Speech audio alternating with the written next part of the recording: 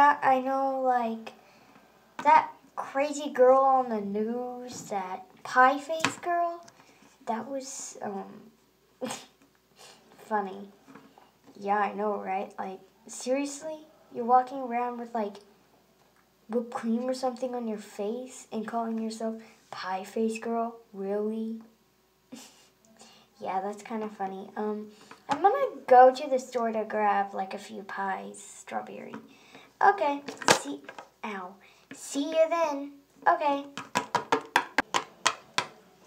What a nice little couch for my cat. That's just great. Um, I'm gonna take this thing. ah! The pie face girl is coming!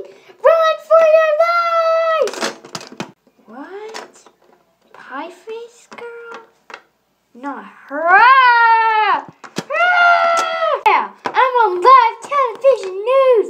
I'm the pie face girl, and I turn people into pyres. I don't know how to be a real human being, so yeah, look at this fabulous stuff. Oh no, they can't see my face!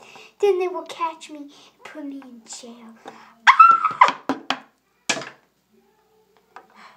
Ma'am, are you okay?